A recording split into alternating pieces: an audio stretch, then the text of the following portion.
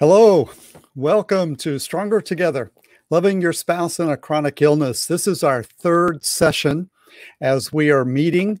Uh, this month, there are four sessions in this particular series, and we are on session number three. And uh, really great to have you joining us. Uh, hopefully, people are getting online, and uh, we have a comment section there, the chat section. If you want to make a comment, kind of say hello, like uh, Lori has done. Hello, Lori. Uh, good to see you again tonight. You can just uh, just say hello, maybe where you're uh, watching from. That would be helpful. That would be fine as well. We'd love to uh, do that. Also, uh, there is a handout for tonight, as there is for each of these sessions that we're doing this month. And you can see the uh, website where you can go and uh, download that. That's across the bottom of your screen there, williebatson.com. And uh, the, the uh, easy way, just go williebatson.com. And when you get there, click on online courses and there'll be a drop down box and you just click on the loving your spouse in a chronic illness. Uh, if you don't have time to do that, you don't want to leave your screen right now, no problem. Don't worry about that. Uh, we're going to be putting things on the screen to help you, and you can maybe jot down a few things on some scrap paper. But anyway, really great to have you uh, with us tonight. Uh, we're talking about loving your spouse in a chronic illness. And uh, one of the things that I've discovered over the years, and I've been working with married couples for uh, just about all of my adult life in pastoral ministry as well as in coaching and counseling couples. And over the last 11 years, really working specifically with couples dealing with chronic illnesses in their marriage, doing some teaching as well as living that experience. I'll share that in just a moment. But marriage and being a good spouse is sometimes difficult especially when you're dealing with a chronic illness in marriage, uh, whether it's a physical chronic illness or emotional or psychological, there's no doubt that in addition to all the other obstacles, normal obstacles and challenges that those in wedded bliss must face, a chronic illness or a serious disability can pose a hurdle that uh, some people find difficult to overcome. Uh, one of the things that I discovered because uh, my wife Cindy was diagnosed with multiple sclerosis and lived with it for 27 years. Uh, one of the things we discovered was that everything changes when a chronic illness comes into a marriage. Ideas of quality time, uh, the way that you communicate with each other, uh, what you even communicate about you know the subjects the kind of things that you thought you would never talk about uh, chronic illness kind of brings that into the conversation and uh, your thoughts about uh, equality or shared responsibilities in the relationship, how you spend your time and money. Every aspect of the marriage may be impacted by the long term illness of one of the spouses. That's why in our session tonight, we're going to be focusing on the unique challenges of a chronic illness marriage. Uh, Cindy and I lived that. Let me, uh, for those of you who are not familiar uh, with us. Oh, by the way, uh, I just wanted to mention uh, I've written a couple of books that you can check out on my website. But uh, I want to show you a picture. I'll go here. Well, all right. Let's go back. My my slides are not in the order that my mind wants to talk. Uh, why don't we just check out? As I said, this is the third in our series of um, of seminars, webinars that we've been doing on this particular topic. And you can see that we did uh, June 9th, How to Thrive in a Chronic Illness Marriage. June 16th, Courage and Hope in the Shadow of Alzheimer's. That was last week. We had a great conversation with Cynthia Fantasia. And both of those sessions are, they were recorded and they're available on my website, williebatson.com, at the uh, Loving Your Spouse Through a Chronic Illness Marriage page. So you can check that out. And tonight we're going to be uh, looking at facing the challenges of chronic illness marriage. And then next week will be the end of this series. And I'll be sharing three things you must do in a chronic illness marriage. Uh, in the past, I've called this a survival guide for a chronic illness marriage. So I hope you'll come and uh, come back and join me next week. And here's what the picture I was getting to. I wanted to show you a picture of my wife, Cindy. We were married 45 and a half years. She passed away from complications related to pneumonia and uh, really some complications related to her primary progressive multiple sclerosis. But she passed away in February of 2018. So it's been a little over two years ago. But we were married for 45 and a half years. And in those 45 and a half years, 27 of those, she was uh, diagnosed with MS and dealing with that. And uh, eventually got to the place where she uh, was not able to walk and needed a wheelchair. In fact, she fell and broke her hip, which kind of expedited the walking disability. But she uh, spent the last four or five years in this uh, power chair, which gave her a lot of freedom for getting around. And uh, this is one of my favorite pictures. Uh, Cindy was always uh, smiling, even in the challenges that she was dealing with, with her uh, primary progressive illness. And uh, you know just difficult. She was able to smile. Even uh, the many times that she was in the hospital doctors and nurses would come in and depending on how things were going she would offer them a smile and and i i was thinking about this the other day that uh, usually uh, every time one of the staff members would leave her room she would just thank them uh, which they all sometimes were kind of surprised by that but uh, she was a beautiful woman we have uh, two children who are married, and we have six grandchildren. Uh, and I guess, needless to say, I do miss her, but uh, so grateful for the years that God gave us. And we learned a lot as we were dealing with the progression of her chronic illness. And God opened the door for us to to be involved in a ministry to initiate a marriage ministry called Stronger Together, which focuses on helping couples uh, who are dealing with a chronic illness. And the verse that really accentuates that um, that ministry is found in Ecclesiastes chapter four, verses nine and ten. Let me read it for you. Two people are better off than one, for they can help each other succeed. If one person fails, the other can reach out and help. But someone who falls alone is in real trouble. Uh, and that's where the stronger together idea comes from. Well, tonight uh, we're going uh, to be talking about facing the unique challenges of a chronic illness marriage. And I'm very happy to have with me Mike and Donna Bassett, who live in uh, North Carolina. And uh, we've become friends over the last few months. Uh, really didn't know each other. Uh, we have we have mutual friends, but our paths just didn't cross until I think um, last fall. Mike called me, and we started talking about their journey and everything that's happening uh, with them. And we just kind of started connecting. And when I put this series together, I contacted Mike and Donna and asked them if they would be able, be willing to consider uh, visiting with us here online and sharing how they're navigating the challenges of Donna's cancer diagnosis. Uh, Mike and Donna met uh, as uh, while they were students at Berkshire Institute for Christian Studies in Lenox, Massachusetts. Uh, Donna's parents gave her one directive when they gave her the blessing to leave her home in North Carolina and go to school in New England, and that was don't bring home a Yankee. Well, it's a uh, Mike says it's a good thing that she wasn't always so good at following directions. Uh, Mike was born and raised in Western Connecticut, and together they have served in uh, pastorates and ministry positions in Georgia, Florida, Virginia, and now for the last several years, uh, Eastern North Carolina is their home. They have four wonderful children ranging from ages 10 to 19. And so let me uh, let me bring them let me get uh, them on the screen here. Whoops, that's the wrong. There we go. All right, that's the one that I want. Hello, Mike and Donna. Hi. Good evening, Willie. Yeah, and uh, it's great to see you guys. And um, I really appreciate you uh, joining us here tonight and being willing to share your story. Uh, how is it there in North Carolina weather-wise? hot. It's hot. Yeah, hot. Yeah. hot. Somebody said uh, if you want to understand the weather in North Carolina, take a shower, don't towel off, and just put all your clothes on.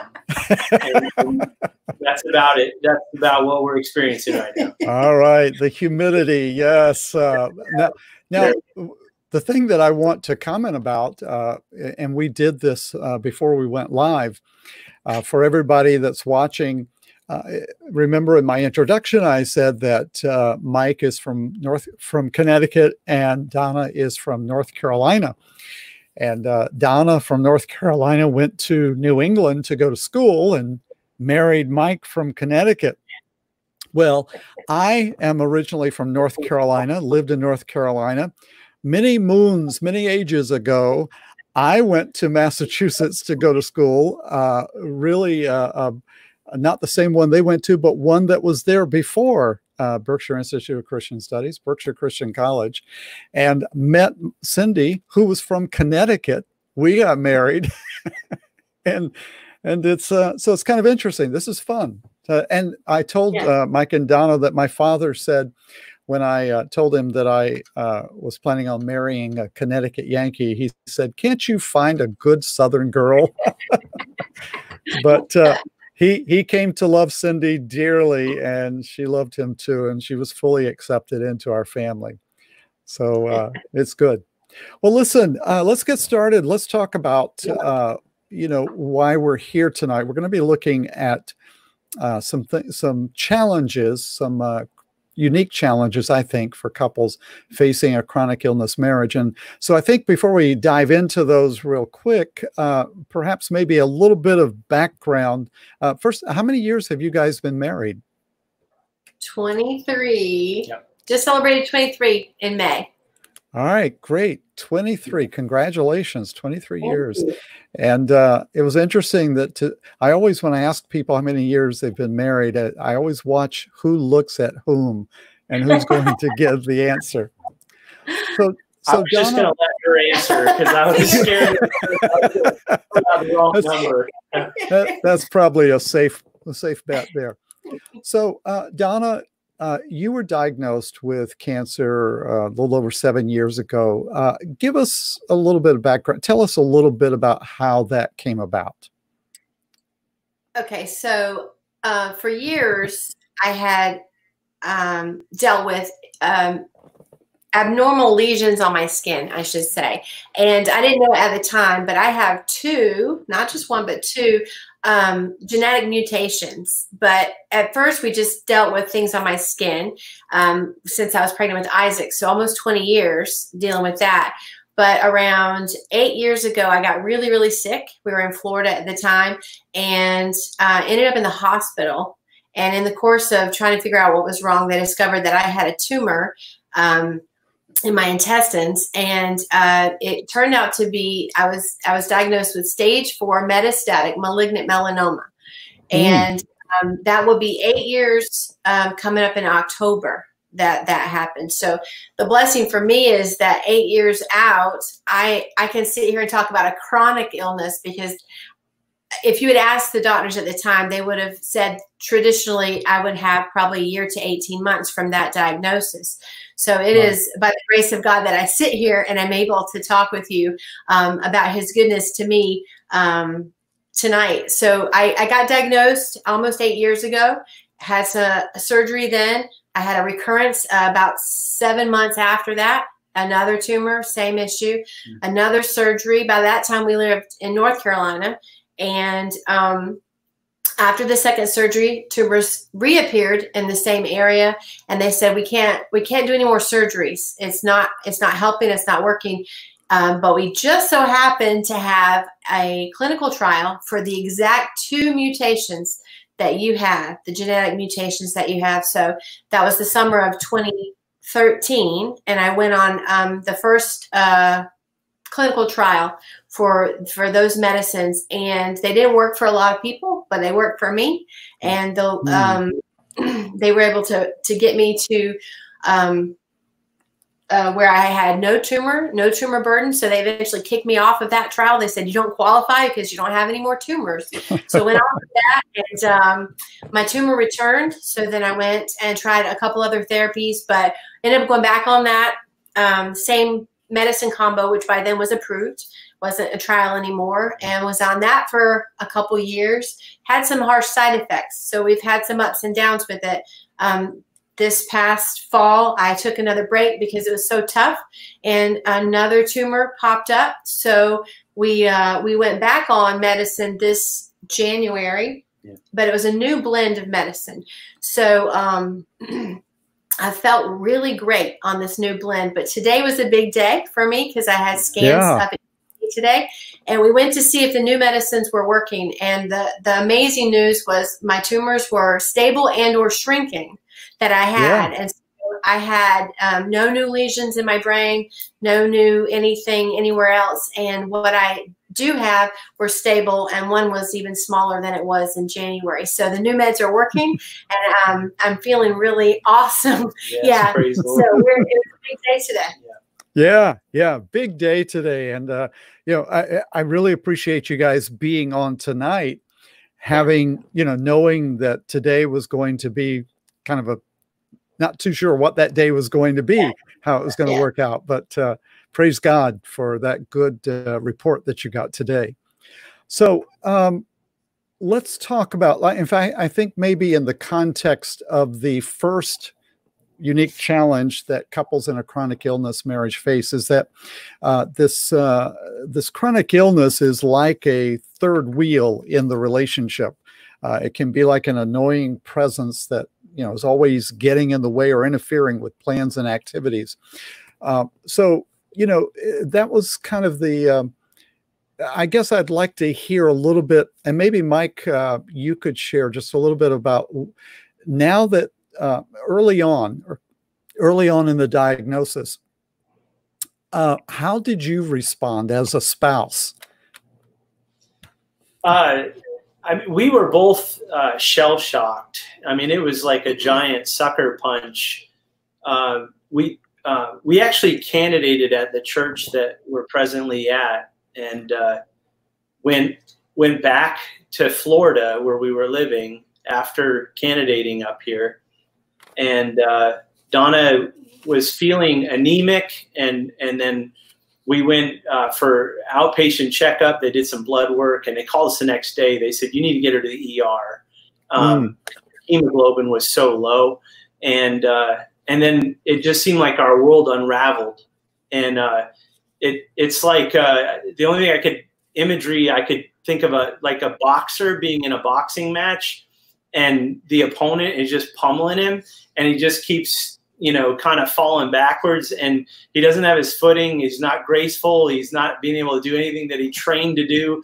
And we were we were just you know it was just we were struggling. And um, uh, it, over the course of about a week, um, we discovered that she had metastatic uh, malignant melanoma. Um, she was hospitalized at the time, had a tube down her throat, um, didn't even want to talk to her family because she was uh, worried that the, you know, she'd start getting upset and then everything would tighten up around the tube. Yeah. And, yeah, you know, so I'm, I was, you know, running interference with family and, and just trying to uh, limit the flow of information, and you know that all unfolded. And um, and so as we as we talked prior to uh, coming on, I, I it's almost like two different stages of our life, and so the the the or the the illness the in the initially we were just reeling from the diagnosis and and all the changes that it brought to our, our new reality mm-hmm. and then um, i'll never forget a few years ago we were sitting in the doctor's office and he said uh, with the advancements in medicine and how well you're responding to it um, you might uh, be in a whole new category and we're going to call this a chronic condition and she and i literally high-fived each other so i don't know if you've ever interviewed anybody that was thankful uh, to get a chronic illness but uh, but you know uh, early on had its own set of struggles, and and we we learned uh, through that. Um, yeah. And then you know, living with long term illness is is a whole other uh, ball of wax. And and um, uh, you know, Donna used a phrase "is is so happen," and and we we know that God is orchestrating things behind the scene. That's our that's our worldview. Um, but uh, but I, I would just say we saw so many evidences of of his hand, and, um, mm. and that's all we can attribute it to. Um, we were in a we were in a doctor's office. Uh, the, it was the oncologist that was, you know, uh, prescribed to us by the by the hospital that we were admitted to, and um, we we went into the oncologist's office one day after she got released from the hospital, and he was ready to start her on this new, you know, this medicine, and and I remember asking him. I just wanted to know his prerogative for why he was choosing the medicine that he was choosing because you know I really took seriously this this you know call to be her advocate and yeah. and to look out for her um, and and uh, you know I had done some research and some studying I wanted to be prepared uh, for the uh, the visit. And and um, and we just this oncologist just got incensed. And and he said to me he said uh, yeah when you get an md after your name you can start asking me those questions. And don and i just looked at each other like is, is this a candid camera show? Like is this really happening? And um i i um i gotta confess i said some things that um i wasn't proud of. And uh you know i i was incensed and and it was it was almost comical in retrospect how awful that visit went.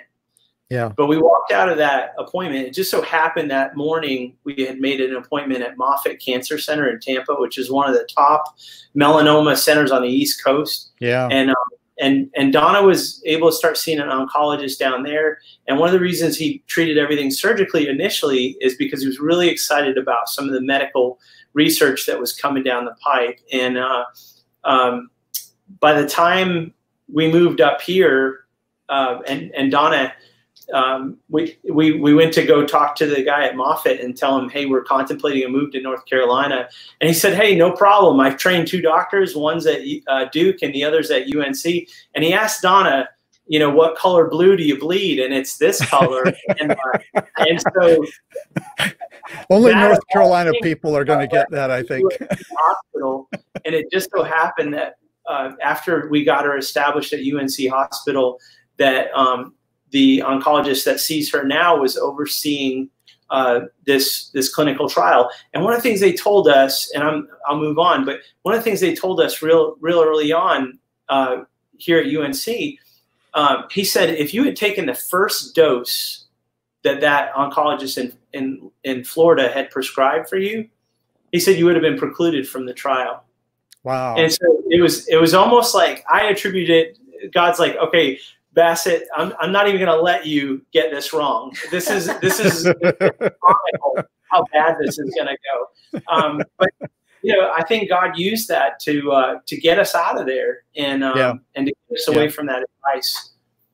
Yeah, and I think the uh, one of the things that I really appreciate there is your role as her advocate and also uh, going in prepared. You know, I that was kind of way that I responded when Cindy was diagnosed with MS. I I did all kinds of research about it, and uh, and continued, and we continued to learn as much as we could about the advancement of dealing right. with it. But to uh, to recognize, um, I just can't believe the doctor said what he did. But uh, you know, it unfortunately you know but fortunately you guys got connected well and and i think that's that idea that even though this chronic illness is like a third wheel in the relationship um, you know it's something that you always have to be thinking about maybe not always but you know and we'll talk about it maybe some of those uh, as we move on here with some of the other challenges. But i think that uh, for those who are watching and listening that really uh, what you guys uh, have done is that the best way to deal with this particular challenge is to focus on functioning as a team to to not leave you know i i think from a the standpoint of a spouse without the disease uh, to be able to recognize uh, okay we're going to i'm going to be involved in this i'm going to come alongside i'm not going to let my spouse do this all by himself or herself and uh, yeah. so the best way to deal with this new uh, third wheel in the relationship is to work together to adjust and adapt uh, while also watching out for those frustrations. Uh, why don't we uh, move on to the second one so we um, have time to get to all of these tonight? Uh, how about the second challenge is that a chronic illness changes the rules in a relationship. Um, some people I've heard people say after they've received a diagnosis, and, and sometimes even along the way, a diagnosis of a chronic illness, that uh, their response has been, "This is not the way life is supposed to be." You know, this was not um, on our planning list, and really, that's a I think that's probably a common reaction among couples whose daily daily lives have been impacted by a chronic illness. Um, how have you guys dealt with the the way the rules have changed for you? You know, um, it may be that you had shared expectations and dreams that are now threatened by uh, the chronic illness. Um, how how have you how have you dealt with those changing rules? I, I wish I could tell you uh, flawlessly, and uh, but you know, there are times where uh, you can be a little selfish, and as a caretaker, I think about how this affects me, and uh, uh, uh, we're a ministry couple, and um, you know, sometimes there are uh, things out in the community that I'm invited to or church functions. Um, and I've just grown so accustomed to having her by my side. And uh, one of the changes that this has introduced is uh, she's not feeling well. There, there are there are days sometimes where she just go down for the count, and you know initially that was that was kind of a hard adjustment. And I yeah. I remember I remember going to a function and and and you know like cognitively I knew it wasn't her fault, you know, but you do I don't know if I articulated it, but you you do end up saying to yourself, well, this isn't how it's supposed to be, you know, and and um, you know there there've been quite a few ball games, uh, you know, children's events, play practices, things like that, where at a moment's notice, I just got to be ready to um, to just take the wheel and and yeah. um, and um, you know there, there have been times where I you know my empathy was not as you know well uh, developed as it should have been. Um, you you, you kind of can't help but think about how it affects you, um, that sort of thing. But um, and I think it's you know it, I think it's been tough for her too. Um, you know, in a yeah, way. How, how, would you speak, Donna? Yeah. Um, well, I thought I was thinking about this, and I wanted to share with you a quote. Um, it's from John Piper, and um, he's he's really helped me. Um, some of his works. He has a book called "Don't Waste Your Cancer." I don't know if you've heard of that one. It's a little I book. Have heard. But um, that kind of thinking has really blessed me. But this quote I wanted to share with you. He says, "Occasionally, weep deeply over the life you hoped would be." Grieve the losses, then wash your face, trust God, and embrace the life you have. Mm. And that kind of was what we tried to do. Like it's okay to to regret that this isn't turning out like we thought it might turn out. And it's okay to grieve the losses or to, to open up and be honest about what we thought would be or what our expectations were and how it's not always what we wanted but then to go okay well let's make the best of what we have now like the new rules. So a, way we try to do that is on the days like today where we have so many scans and all this stuff and UNC for us is about an hour and a half away.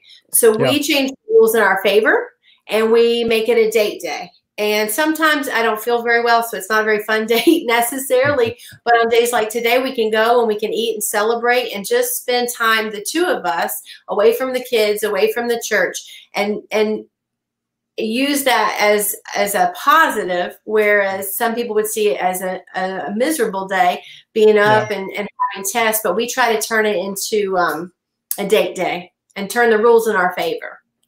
I think that's great. I love the uh, quote that you read, and and I I grabbed the last part of that. Embrace the life you have.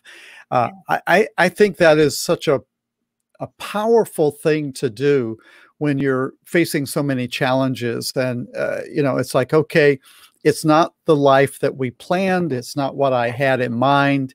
Um, and you know, when we get married, we make promises, the traditional vows for better, for worse, in sickness and in health. And I remember making those promises in 1972 when I was just not even I was not even 21 years of age at that point. And you know, it's like I figured, well, when I'm in my 80s or 90s, I'll deal with some of that, you know, health, the, the sickness sort of stuff, not knowing right. it would come sooner than that.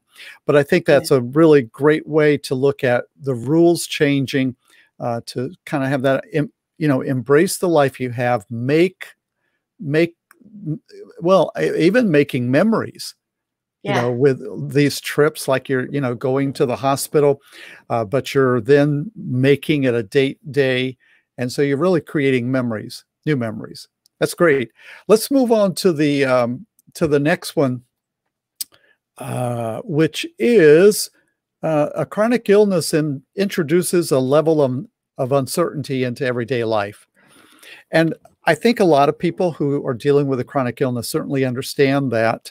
Uh, you may not be able to predict how you will be affected from morning to afternoon, uh, let alone from one month or a year to the next. Um, and and it's a it's an unpredictability that leads many spouses to begin to wonder, you know, what is it that I can count on? Or like you were saying, Mike, you know, can I really count on Donna to be there when I need her? And Donna, I think the other thing might be, you know, can I count on Mike to be there when I need him? And so there's there's a level of uncertainty in everyday life that comes. How have you guys worked together as a team to confront uh, this particular challenge? Um, I think uh, we we've we've learned to uh, kind of embrace uncertainty, if that makes sense. Uh, so it's almost like every day uh, she she kind of goes into a day with a plan A and a plan B. Um, yeah. So is this going to be the Donna that feels well, or is this going to be a bed day? a bed day. Um, and uh, she's, you know, she's a mom of four. We we do um, homeschool. That's something that she has wanted to do through all this, and I think it has given her, you know, something to live for. And uh, but it, it also it introduces struggles, and uh, it's been a lot of days where she taught from the bed or a recliner. Um, and and just done the best that she can. And yeah. uh, um, I think sometimes there's she needs to give herself a little more grace, and and she she uh, she she can hold herself to a, a pretty high standard, and uh, and and uh, but you know you, you're just not you're just not dealing with uh, you know the the same the same set of cards that everybody else has at the table, if, if yeah. to use that analogy. But um, so I think what we've learned, like I was first diagnosed, I was 36. You know, and my babies were uh, 12, 9, 7, and 2. And mm. you kind of think, I'm, I'm going to have all these experiences with these kids. I'm going to see them grow up. And you kind of don't think about your own mortality necessarily every day. And then that, my diagnosis changed all that. And so we stopped assuming that I have tomorrow. And I know none of us are promised tomorrow, but I have to live with it a little more present in my mind than most people, or at least than I did before. Yeah. And um, what it's really taught us is to really make the most of all the moments. And we don't do it perfectly. I have bad days. I I I, I struggle sometimes with feeling sorry for myself or this and that. But as a yep. whole, we've learned to live so much more thankful for each little birthday or each trip to this or each Christmas or each um, grad, you know, the graduation. I got to see my son graduate last last spring and didn't know if I would get to see that, and so I cried all day because it's so amazing that I that I get to experience those things. And so I think it's taught us a really beautiful way to live. It's really yeah. just not taking anything for granted. And if I have a good day, we just try to make the most of that day. And we don't, we try not to look too far into the future. We just take mm. each day that comes, good or bad. We've learned to take mm. each day as a gift. Yeah, I, yeah. we, we were at Disney a few years ago, and uh, our youngest daughter, it was her, first I think it was her first first time at Disney, and uh, um, you know, as a dad, it's I mean, I, I like it, but you know, let, us just face it. You know, you, you paid this exorbitant amount of money, and everything's overpriced, and you're you're hot, you're sweaty, you're walking around the park, and for all the money that you paid, uh, I don't know why you have to stand in the you know these incessantly long lines, and um, you know, I was I was kind of getting caught up in that, and I, and I could read it on other parents' face, like that you know, you get three quarters of the way through the day and I could just read it. They're like, my, my fun meter is pegged. And uh. I, I, looked over at Donna and, you know, all day I'm just watching her and she's just beaming. Uh, she's grinning from ear to ear and uh, she's just relishing every second.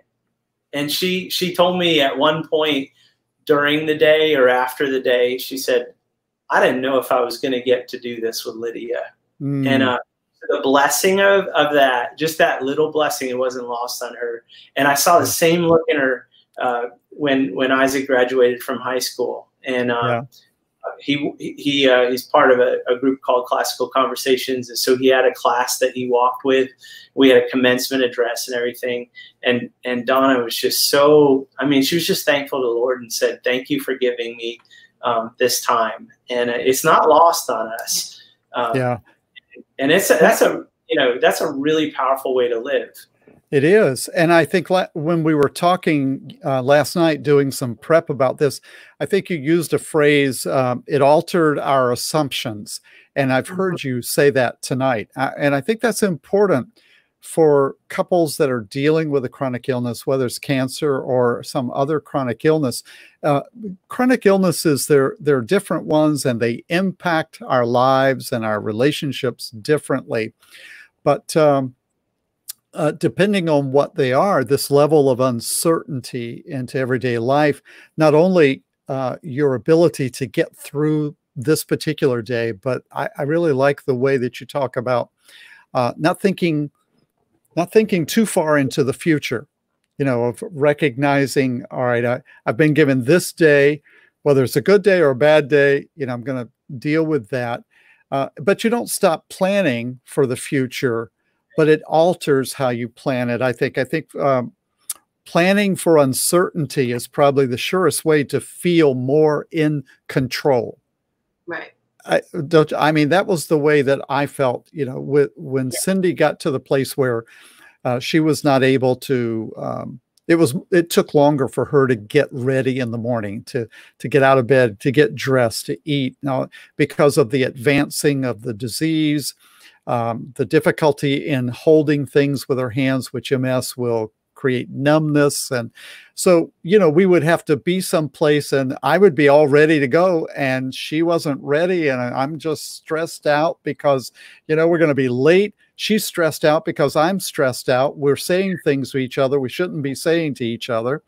And, uh, and, we're we when we get to where we're going sometimes it was a church function or or a seminar to teach about marriage uh, you know we were not we're, we're not in a oh. very good yeah we're just not in a good mood and uh, right. uh, and so one of the things that uh, we decided to do to kind of manage that uncertainty a little bit was to get control of what we could and uh, we figured out it, it, take it would take her two hours to get ready in the morning if we're going to leave to go somewhere she needed we needed two hours once we did that and if we had, uh, we stopped getting early morning appointments. we started making appointments that were reasonable. And then also, if we did need to be somewhere early, we knew that we needed to count backwards at least two hours. Uh, and once we did that, you know, the stress uh, was, you know, lowered quite a bit. Well, uh, a level, a chronic illness introduces a level of uncertainty into everyday life. But another challenge with a chronic illness is that it strains resources. Uh, and those resources can be, um, they're very valuable resources like money, emotional energy, and time. And when the illness or the disability uh, is allowed to strain the existing resources, people can can be left with a number of emotions. They can feel overwhelmed, they can feel drained, uh, even resentful, resentful of their spouse, uh, particularly if other important needs go unmet. So um, to have a stronger together marriage, to be a stronger together couple with this particular um, challenge, I think it uh, a, a, healthy marriage strives best when both persons' needs are recognized and important resources are shared, or you or you conserve the resources. Now, one of the things when when we were talking about this, when I was talking about this with you guys, uh, Donna, you asked me if I had ever heard about the analogy of the spoons. Right. And I and I had. So why don't you share that with everyone tonight? So in the course of of my journey, it came to us about this spoon theory, and um, it was a woman who suffered with chronic illness. I think she had lupus, and she was trying to explain to her friend the difficulty of getting through the day with a chronic illness. That you can't do everything other people can or that you used to be able to do because you just don't have the energy that everybody else has. And so I think the story is they were in a diner and she looked around and she just grabbed out all the spoons.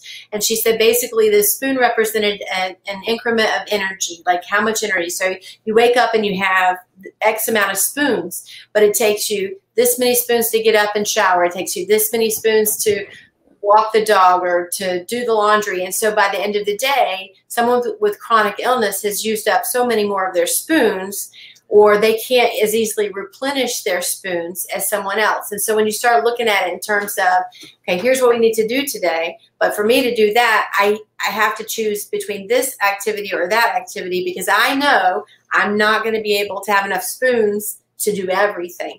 And when we were introduced to that concept, it gave us um, it was such a tool because it gave us a common language because then I could mm. explain more easily. Okay, I understand that you want to do that, and we need to do that, and kids need to do that, but I have to choose because I don't have enough spoons. And it was like a light bulb. Oh, you know, I feel like it it helped him to understand um, in a better way than any analogy that we had heard up to that point.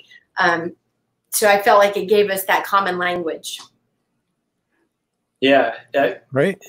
It put it it, it was like a word picture in a way, and it put it in a way that I, I know it was a revelation for me because I was able to actually see um, in, in, a, in a way that I could appreciate how how finite uh, the resource of her strength is, and um, you know she can spend it on this.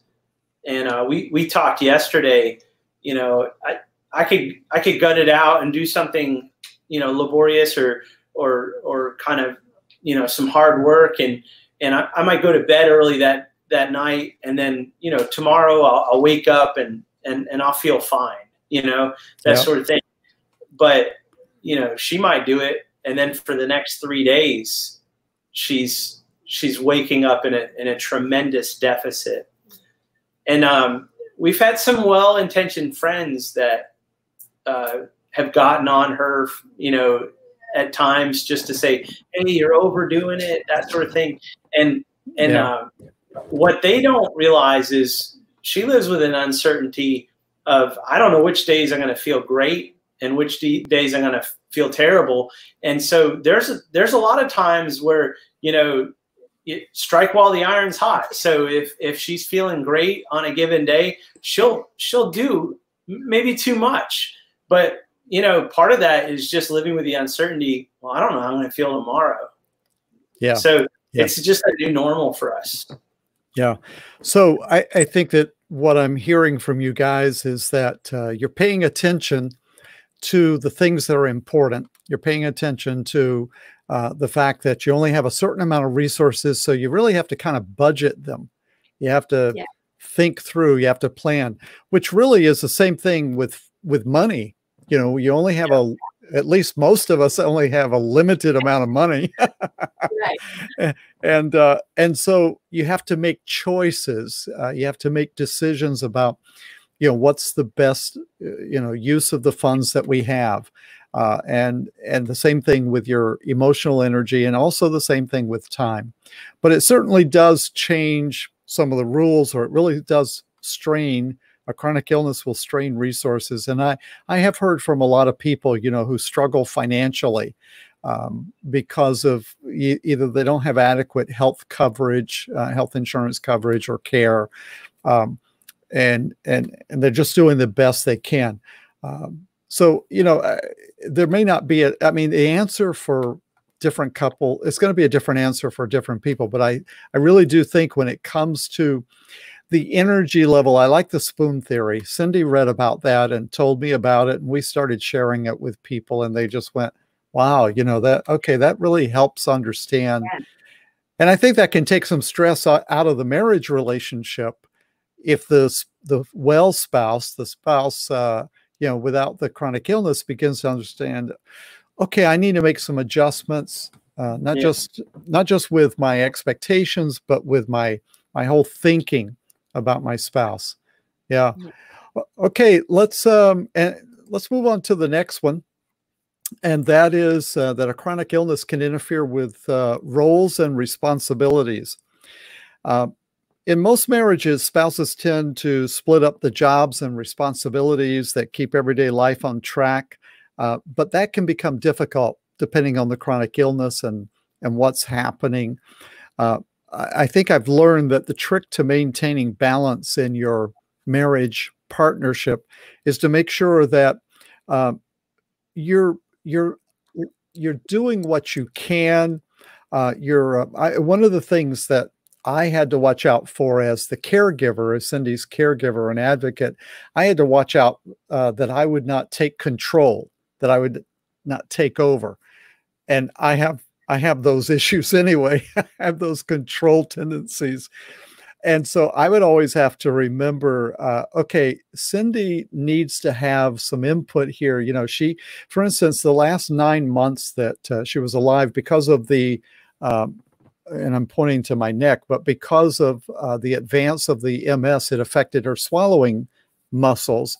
So she would uh, aspirate into her lungs. She would get pneumonia. She'd be hospitalized. So eventually the doctors said, you cannot eat or drink anything uh, by mouth. And she had a trach uh, to help clear her, her breathing.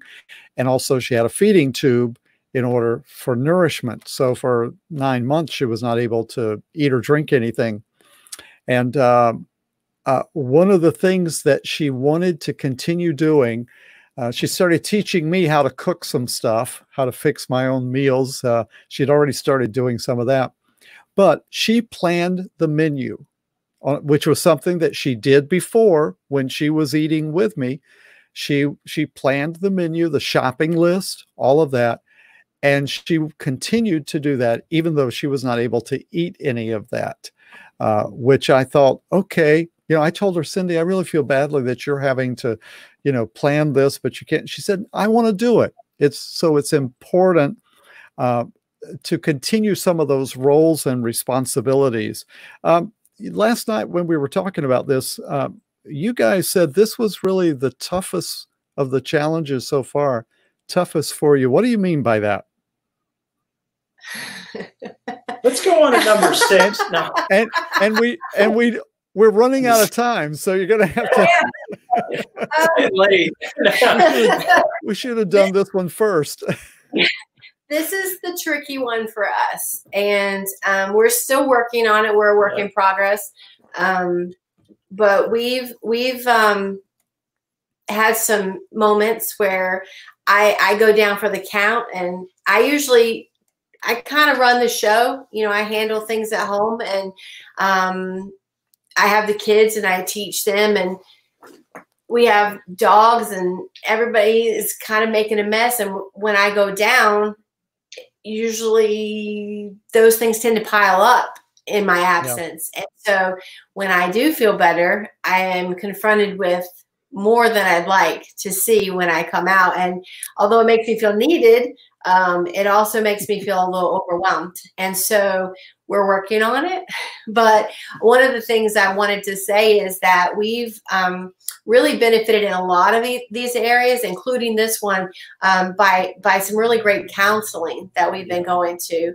And mm. so I wanted to to advocate that if if um, anybody um, feels the need, I, I, would just try to take the stigma away from going to get counseling because it's been a great blessing to me and to the two of us um, to be able to have another person to kind of bounce things off of or kind of mediate a little bit and or, or pose a question to help us see things from the other person's perspective or open our eyes to something we may be missing in the heat of the moment at home. And so if we have issues like this where we just don't understand how the other person works um, yeah. she steps in and really we've benefited from from having um, counsel on things like that.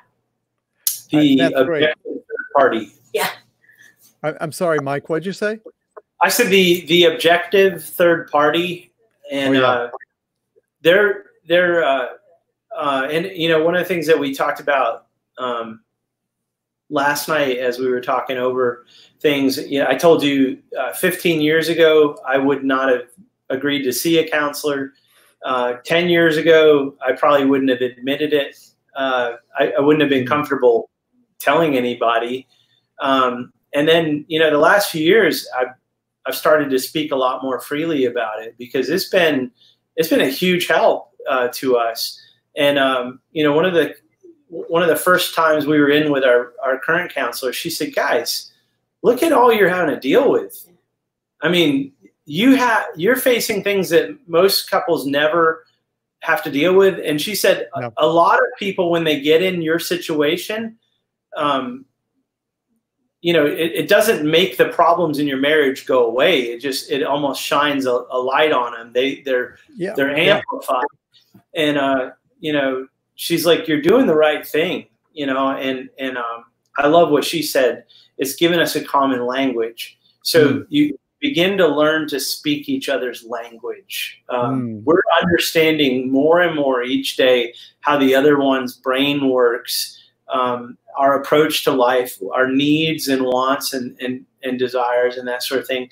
And, um, and I think a lot of those gains have come through, uh, through counseling and, and through just, you open know, communication. open communication. Yeah. yeah. yeah which, uh, which is our next one is that uh, chronic illness can make communication difficult. But uh, I, before we, I mean, we'll we'll blend. We can kind of blend this in. So you know, the counseling has helped you guys have a common language to understand each other better, and probably has uh, helped you deal with some of the difficulties that can arise from communication. Uh, when I first started working uh, or focusing our Stronger Together ministry on uh, couples with a chronic illness. I there's not a whole lot of research. I, I, don't know about now. I haven't really seen too much, but back then, 11 years ago, there wasn't a whole lot of research about the impact of chronic illness on a marriage relationship. Uh, but one study that I did see, uh, a national study, was that uh, the divorce rate is higher among couples with a chronic illness. Uh, than it is with those without. And one of the things that, and I think Mike, you might have been the one mentioned it, um, and if Donna, you were the one, uh, excuse me if I've forgotten. But the the idea is that my my thinking is that the uh, chronic illness exacerbates any broken areas of the relationship, any cracks in the foundation. Um, it may be that uh, things are going along fine. You're maintaining uh, with the issues that you're dealing with, but then you bring the stress of a chronic illness and the changes and the challenges that we've been talking about here. And then any cracks in the relationship are going, like you, I think, Mike, you, you know, they're bigger. Um, so I, I think that's a good point to make, and also to uh, emphasize that maybe to have some counseling uh, marriage counseling or even individual counseling yeah. to help you navigate and learn how to speak a common language. Uh, anything else you would add to the to this challenge about communication in terms of how you can? And I think that you know it. The art of communication in a chronic illness marriage. Uh, in some ways can boil down to a couple of things, and that is uh, knowing when to talk and when to listen. Yeah yeah, which, definitely. Which and is true. No, I'm sorry. sorry the, which is Speaking true for any relationship. yeah. And, and the second one, when to start a discussion and when to keep quiet. oh man. Uh, we, will blame it on latency and the internet. So yeah, that's right. Yeah. So Donna, what were you going to say? I was just going to add that um, we use humor a lot to break the tension. Uh, yeah. For point in case, um, you know, a joyful heart is good medicine, and I think that a lot of times we we um, try to inject humor where we can to uh, soften the the tough spots and and just be open in our communication and learn to laugh yeah. at ourselves. Yeah. This is going to sound weird. I'm going to make a confession for us.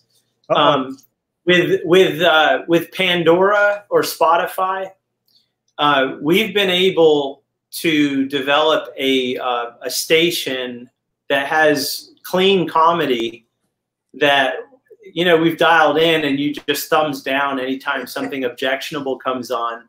Yeah. And um, there's a lot of nights where she and I will will lay in bed and we'll listen to it for a few minutes before we fall asleep and and sometimes we'll just sit there and giggle and laugh and it, it, it's a great way to end the day i mean just yeah i learning to laugh at yourself is so important. And uh and it you know sometimes laughing at ourselves we it keeps us from crying.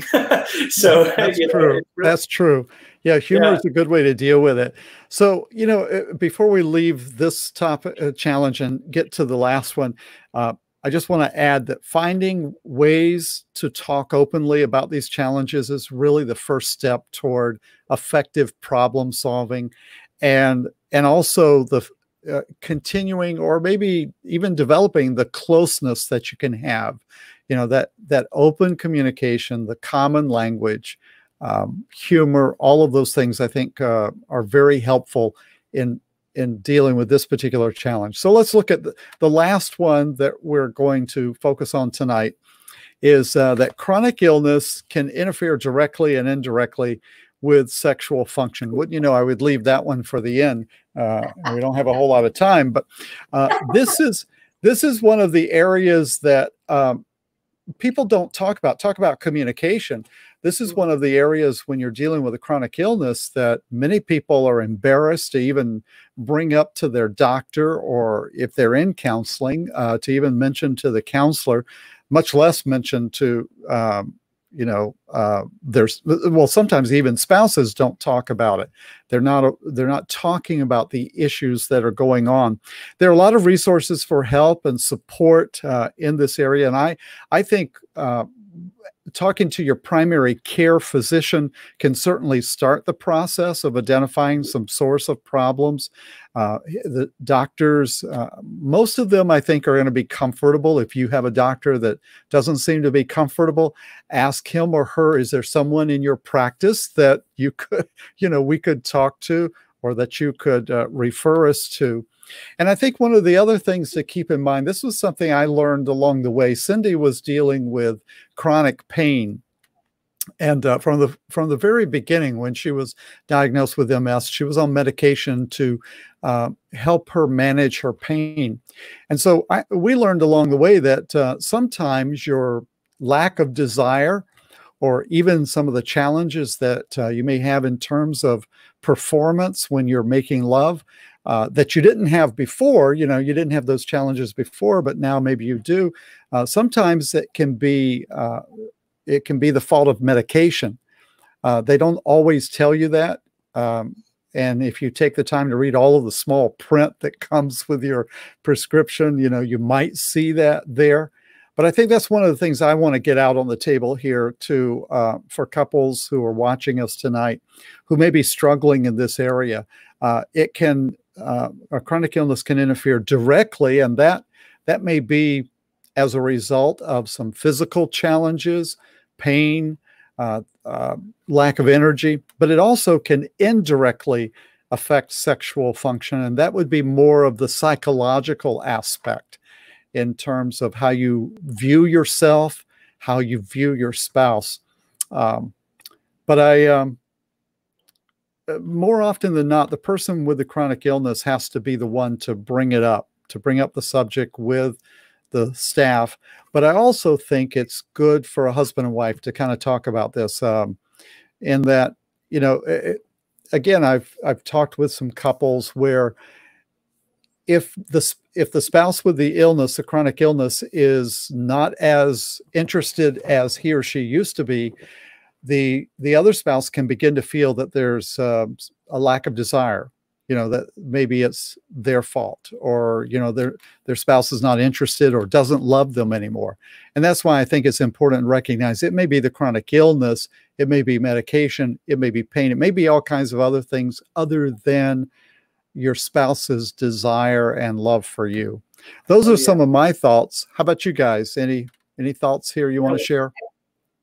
What do you have? I was just going to say it's another area where I, I, I just go back to open communication and just being honest. Thankfully, I have care providers and a counselor who both ask me straight up. I mean, we'll talk mm. about it. And, and we have a relationship where we pretty much talk about anything and everything that comes you know to mind or we deal with. And so i just say open communication um, is is huge in in that area as well. Yeah. We you know we were we were just in the oncologist's office today and uh and we were you know we're sharing how she's felt with this new formulation of her medicine versus yep. her old formulation. And uh one of the one of the one of the differences is on her old formulation, it it it hit her so hard uh, physically that she um, she she had to take prednisone a lot of times, and mm. that's one of the most prescribed medicines to anybody that has a, a chronic condition. Yep. There's a lot of people on a steroid, uh, prednisone, something like that, and um, I, until until I had a spouse that took it, I you know I would have never guessed what a mind altering, uh, mood altering substance, something as common as prednisone could be. So, I mean, you know, it just really points out uh, cancer drugs, um, you know, uh, any kind of um, anything uh, dealing with, you know, musculoskeletal uh, uh, nerves, anything like that I mean, the a lot of these drugs are they're just really powerful chemicals, and they can they can they can alter your your your physical makeup, and they can also um, alter your your mental makeup. So yeah, um, yeah. What a what another reason to check in with a counselor. Um, yeah. You know, and and uh, and you know we we have we have access to a counselor and a um, psychiatrist, and and and so those folks um, you know, they, they understand in better ways. You know, sometimes a, a psychiatrist might understand how prednisone is affecting you yeah. more than an oncologist. And yeah. Uh, so, yeah. so I would, I just encourage people to take full advantage of the, the doctors at their disposal. Mm-hmm. Um, yeah. And uh, one of the things I said in the first session that I did uh, on in this series was that knowledge is power. And so mm. the more knowledge that you can have as a couple, you know, both of you getting as much knowledge as possible about the chronic illness and its effect and uh, on your relationship and how you can improve it, the better. Uh, it can be scary, you know, and don't believe everything you read on the internet. Make sure you have good, yeah, make sure you have good sources for that. Just because it's on the internet doesn't mean it's true or on Facebook, you know, on social media. Uh, but uh, this is an area that um, I, I, think this is one of those areas going back to what you said, Donna, uh, you know, the quote from John Piper embrace the life you have. And so, mm -hmm you know, even in this area of your relationship, uh, it may not be what it used to be or what you thought it would be, but you embrace what it can be and what it is, and find mm-hmm. ways to stay connected with each other. Uh, physically, emotionally, and spiritually as well.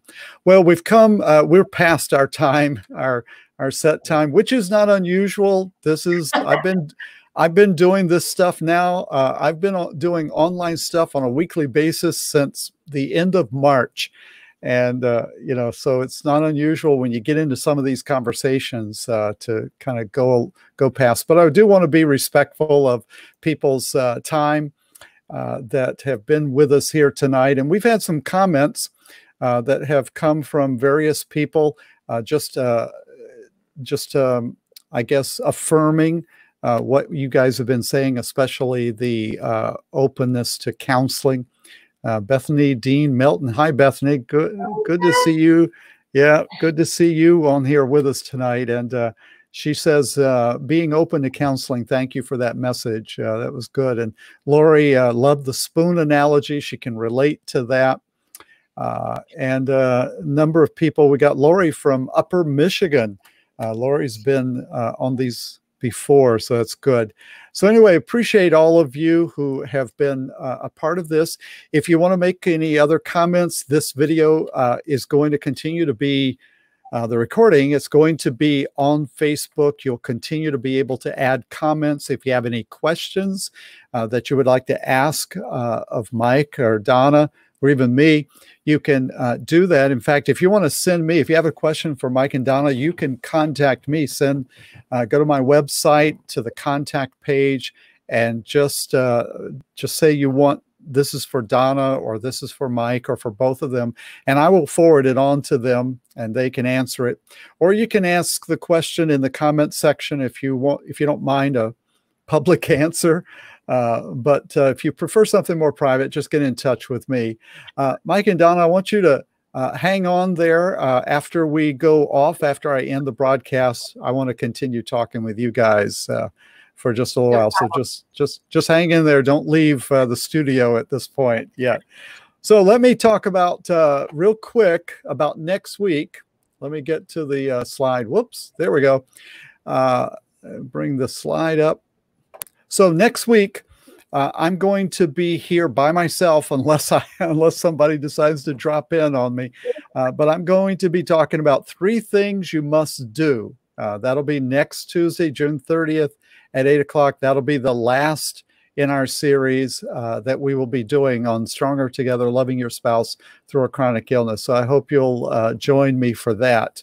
And again, uh, Donna and Mike, thank you so much for being a part of this, being willing to share. And maybe we can do this again sometime. And uh, when I come down to North Carolina to visit family, we're going to have to, you're going to have to take me to a barbecue place. Uh, I, uh, at Eastern, Eastern North Carolina, we're going to, that's the best barbecue in the world.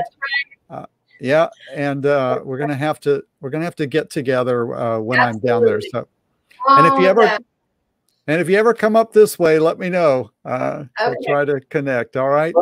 Uh, I'll leave like you with one exchange that we had um, right yeah. before we came on. She said, "Oh, why did we? Why are we doing this? You know, because nerves, nerves set in."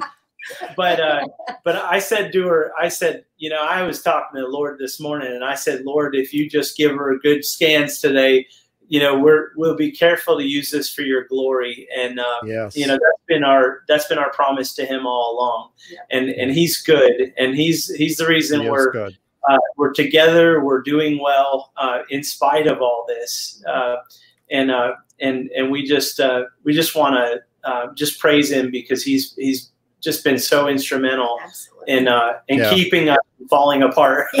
He's good to us. Yeah well, I think that uh, I appreciate that word, and I agree with you. I think the important thing uh, that I'm seeing and hearing is that both of you are on the same page when it comes to trusting the Lord uh, and and recognizing that your faith is foundational not only to the health of your marriage but to the health of your marriage with a chronic illness. And right. something that my doctor son-in-law has uh, told me a few years ago uh, when we first started focusing on Stronger Together, he said that, uh, you know, my, my focus is on how the chronic illness affects the marriage. But he did a couple of workshops with me where he said the uh, the condition of the marriage or the stress of the marriage relationship can affect the chronic illness. Yeah. And, and that's why it's so important for us to be uh, as couples where there's a chronic illness in play for us to be focused on good relationship good solid relationship skills uh, and that will that can have a positive impact on the chronic illness as well. Uh, so faith and and a commitment to be a team and work through this together. I see that with you guys.